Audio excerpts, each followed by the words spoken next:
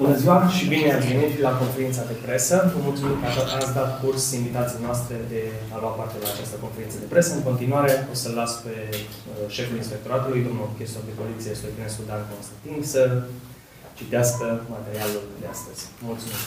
Da, mulțumesc! Bună ziua! Mulțumesc că ați răspuns pozitiv solicitării noastre de a participa la o conferință de presă în care să prezentăm activitățile și rezultatele obținute de IPJ Arad în trimestrul 1 2024 și să vă prezentăm activitățile și ceea ce dorim să facem în, în continuare. Din punct de vedere al infracționalității sesizate au fost înregistrate 1839 de fapte, dintre care 989 infracțiuni judiciare, 247 de natură economico-financiară și 603 de alte natură, înregistrându-se, înregistrându-se o ușoară creștere față de aceeași perioadă a anului trecut cu 4,02%. În mediul urban au fost înregistrate 1296 de fapte, cu 57 mai multe față de anul precedent, iar în mediul rural 543, o creștere cu 14 fapte. Din numărul total al infracțiunilor sesizate în primele trei luni ale anului, 798 se regăsesc în municipiul Arad, aproximativ 44%.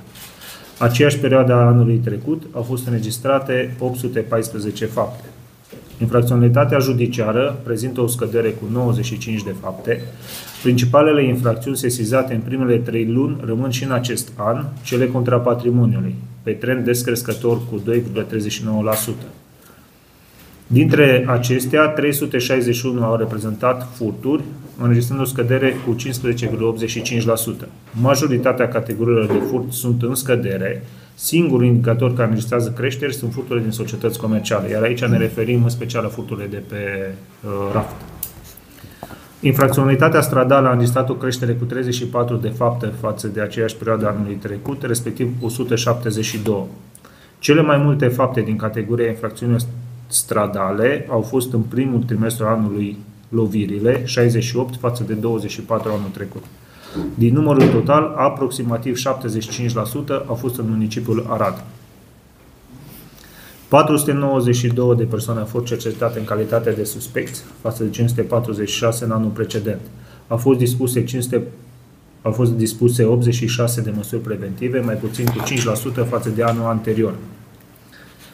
Din punct de vedere al combaterii contrabandei cu țigarete și tutun, în primele trei luni ale acestui an au fost desfășurate 79 de percheziții și organizate 4 acțiuni specifice, sub coordonarea pachetelor competente și în colaborare cu alte structuri din cadrul Ministerului Afacerilor Interne, SICE, Serviciul de Investigare a Criminalității Economice și subunitățile IPJ Arad au ridicat în vederea confiscării aproximativ 361.000 de țigarete, susceptibile a proveni din contrabandă, în valoare totală de aproximativ 352.500 lei.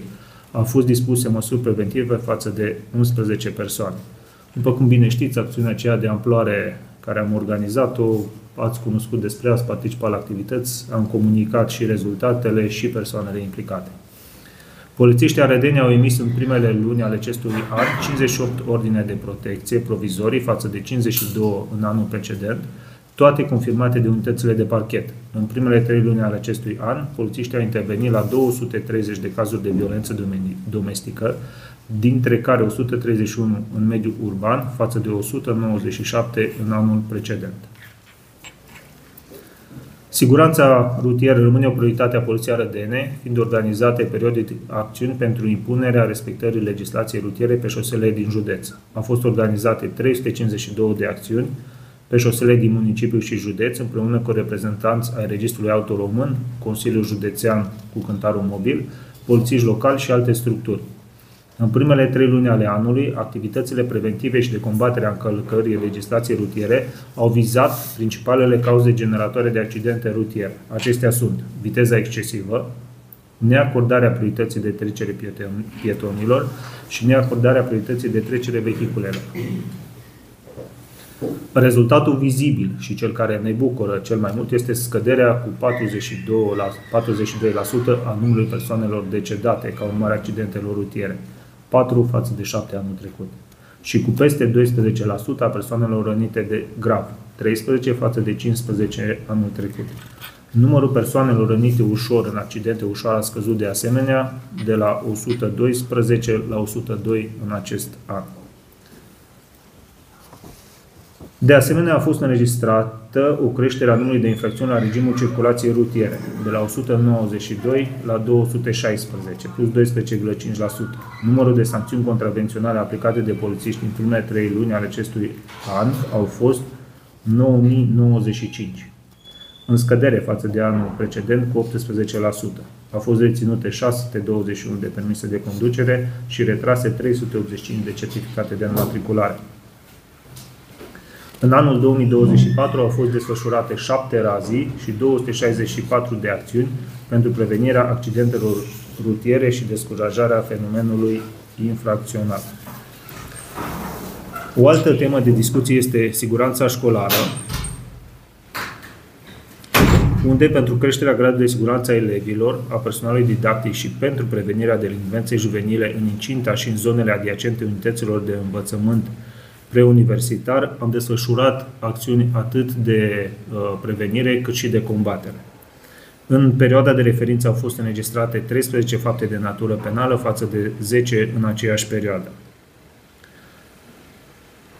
Aș vrea să vă vorbesc despre activitățile de prevenire și să vă invit alături de noi la, la aceste activități, activități care privesc atât uh, tinerii care sunt în învățământ universitar, cât și adolescenții și copiii care sunt în, în învățământul preuniversitar.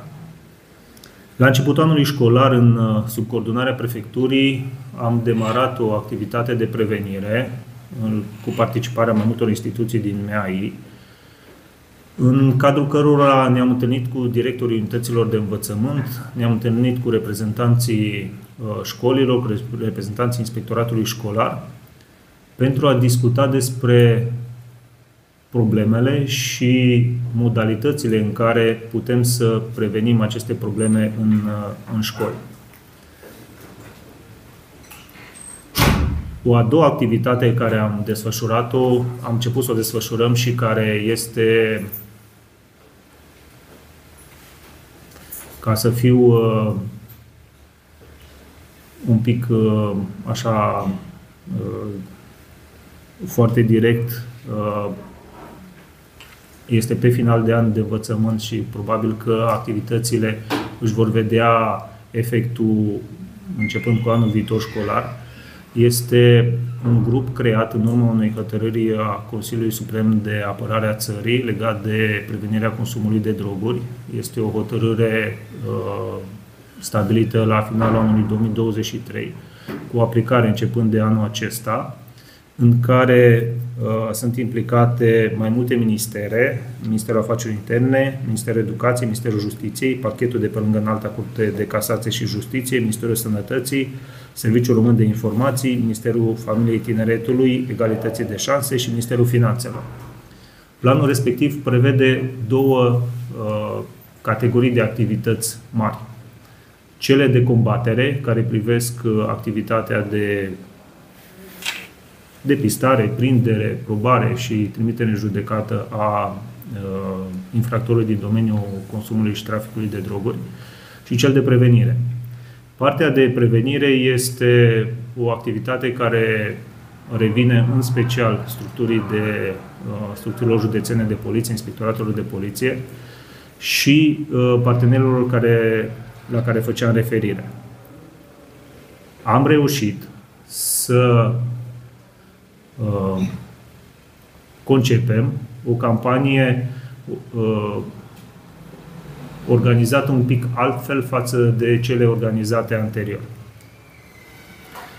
Și ca să fiu, uh, poate mă ceartă colegii de la inspectoratul școlar că dau din casă, dar uh, am stabilit în ședințele comune să facem o campanie care, în care vom porni de la un filmuleț făcut de copii din inspectoratul școlar, filmat de copii din inspectoratul școlar și care va constitui punctul de plecare al unor prezentări care le vor face specialiști din instituțiile menționate uh, anterior pe problematică.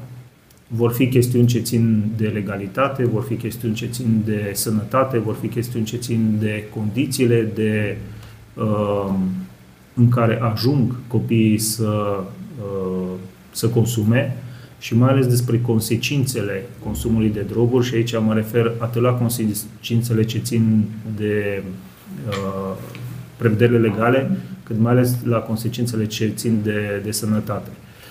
Uh, sperăm să putem să dăm uh, uh, să începem această campanie în teren, cum se spune, uh, undeva după jumătatea lunii mai.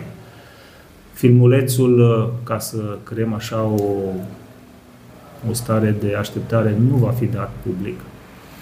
Va fi prezentat doar școlilor, pentru că vrem ca de fiecare dată când copiii văd aceste uh, filmulețe să fie o chestiune de primă vedere, prima audiție și să putem să discutăm pe cele trei capitole ale filmulețului foarte, foarte aplicat.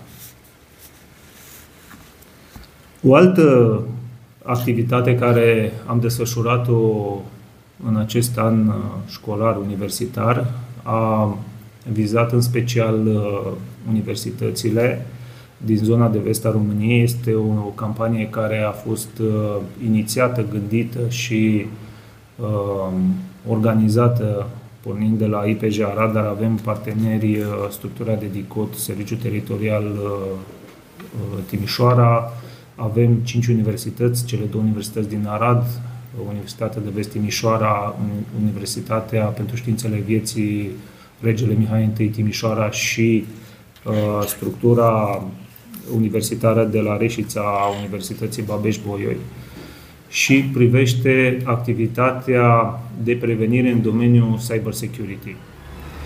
Uh, am avut prezentări făcute de uh, doi specialiști de la DICOT, legat de modalitatea în care uh, sunt efectuate perchezițiile informatice, modalitatea în care uh, se fac cercetările și modalitatea în care trebuie și te poți feri de uh, pericolele din zona uh, spațiului uh,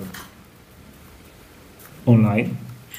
Au fost colegi de la, coleg de la uh, Brigada de Crimă Organizată care a avut o temă legat în aceeași uh, măsură de Uh, spețe și de pericole și o prezentare făcută de uh, domnul profesor uh, Pungilă, care este conducătorul masterului de Cyber Security de la Facultatea de Matematică Informatică de la Timișoara și, bineînțeles, partea de prevenire realizată de colegul nostru, domnul Arădan.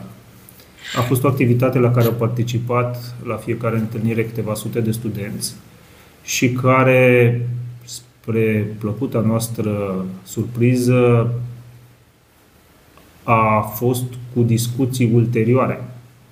Zile în șir au discutat despre ceea ce s-a prezentat acolo în uh, tematica pe care am avut-o în vedere. Aceste activități am vrea să le continuăm. Uh, proiectul prevede o extindere și anul viitor, în anul universitar viitor, și v-aș invita pe dumneavoastră, reprezentanții mass media, să fiți alături de noi, atât ca promovarea acestor activități, cât mai ales pentru a ne sprijini în partea de prezentare a activităților și poate niște uh, aspecte care nu, sunt nouă, care nu ne sunt nouă foarte familiare, dat fiind faptul că dumneavoastră uh, aveți ca bază de a activității profesionale comunicarea publică. V-aș mai aduce la cunoștință faptul că din 24 aprilie a fost uh, început uh, perioada de înscriere pentru uh, școlile de poliție, e vorba de școlile de agenți. Înscriere care va fi până la 14 mai. Înscrierea este Uh, doar în format uh, electronic, indiferent de zi, pot fi transmise cereri de înscriere. Uh, După aceea, după 14 mai, vor fi activitățile efective de predare a documentelor, înregistrare și probele inițial uh, eliminatorii și după aceea cele teoretice pentru înscrierea la uh, școlile de poliție. Cam aceasta este uh, prezentarea care am, am vrut să vă fac. Cu acordul dumneavoastră o să-i dau cuvântul colegii mele să vă prezinte aplicația EDAC, iar după aceea vă stăm la dispoziție pentru, pentru întrebări.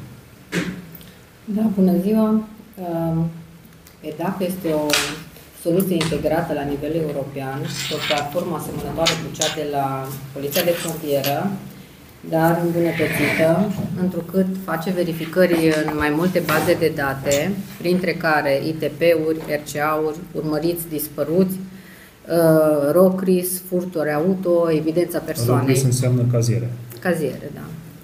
Uh, toți agenții din teren au fost dotați cu altfel, astfel de dispozitive, atât uh, telefoane mobile cât și tablete. Uh, este foarte utilă uh, până în prezent, pe perioadă de o lună de zile, având peste 18.000 de interogări. Deci este folosită pe viitor se dorește tot așa un trend ascendent, o să urmeze dotarea cu alte dispozitive. Deci, în concluzie, este o aplicație de viitor. Pentru Dacă că verifică integrat în mai multe baze de date. Legat de această aplicație. Asta își permite, scuze, de interogare la nivel de județ. La nivel da, de județ, da. de... Câte tablete sunt sau cum au echipaj? Fiecare echipaj are o tabletă? Fiecare echipaj de fiecare polițist de rutier are tabletă. Doar la rutieră? Uh, nu. Și cei din ordine publică au telefon. Numărul lor îl păstrăm confidențial, dar fiecare, fiecare echipaj din stradă are un telefon sau colegii de la rutier au tablete. Ceea ce este de noutate este rapiditatea cu care putem să verificăm în foarte multe baze de date, plecând de la prezentarea unui document, a actului de identitate sau permisului, putem să verificăm practic în toate bazele de date curente ale Poliției Române, ale poliției, administrate de Poliția Română sau de alte instituții, dar folosite în mod frecvent de Poliția Română. Vă rog. se decide că o persoană trebuie verificată în baza asta de date? Adică, uh, sunt verificate sau sunt anumite legislația și condițiile legate de legitimare și de verificare nu s-au schimbat. Ceea ce s-a schimbat este modalitatea tehnică în care o facem și uh, uh, aplicația este în dezvoltare și la momentul legitimării, polițistul în stradă va putea într-un final să facă o verificare exhaustivă asupra uh, datelor legate de persoana din, din fața lui. Asta este marea uh, realizare tehnologică, sigur. Suntem în secolul 21 și verificările acestea, cum zicea și colega, se făceau și la frontieră. Cunoaștem toți că atunci când ieșeam de la frontieră, lăsam uh, la control actele de identitate și polițistul de frontieră putea să verifice și să stabilească dacă sunt uh, probleme legate de persoana care prezenta documentul. Acum, această verificare, cum spunea colega, poate să o facă fiecare polițist. Da? Condițiile de legitimare nu s-au schimbat. Cadrul legal, de ce verificăm, pe cine verificăm, nu s-a schimbat. Ci doar avem posibilitatea, fără să mai apelăm uh, centru uh, operațional sau uh, centrul operațional de la municipiu, să facă verificarea fiecare polițist în stradă. Apar și mențiuni făcute de poliție din alte state? Dacă sunt uh, uh, mențiuni care sunt conform legislației noastre, da. Urmăriții din alte state, dacă apar cu uh, semnalări că au procedură în alte state, figurează. Da, procedurile dacă stați în urmărire, doar celelalte se poate comis fapte care nu sunt uh, uh, aspecte care se încadrează pe legislația noastră pentru că uh, sunt niște reglementări legale care uh, trebuie să avute în vedere, dar dacă intră pe legislația noastră, tot ce există în bazele de date administrate de Poliția Română sau de alte instituții, uh, polițistul din stradă are acces la, la bazele respective. Da. Mm.